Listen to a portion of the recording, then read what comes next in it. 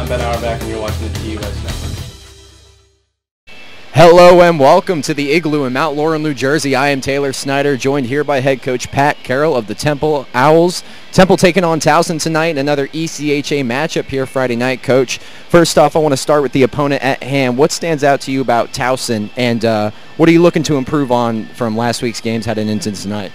What stands out about them is they got a couple returning guys that I remember from my last time in this league. They got a goalie, I think his name is Jake Snyder, and they got a forward named Dieter, number 19, that are pretty strong players. So we're going to have to navigate around them to see how we can combat their offense and his play in net this year.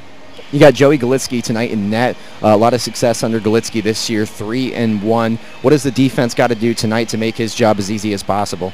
Let him see the puck. Pretty simple. Let him see the puck and keep those guys, this guy Dieter, away from the middle of the ice. And they got another guy, too, that's um, going to start on that first line tonight. Uh, number seven, I believe his name is, his number is. So keep those guys out of the middle of the ice and let them see the puck.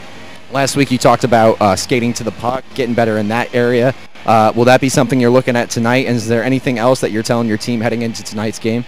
Yeah, again, trying to work 60 minutes. So, yeah, we're going to be skating to the puck, trying to get pucks deep, let their defense do some work this year. They have 14 freshmen on their roster, so we want to try to take those people and kind of expose their weaknesses and, and, and expose our strengths at the same time. Thank you so much, Coach. Head coach of the Temple Owls, Pat Carroll.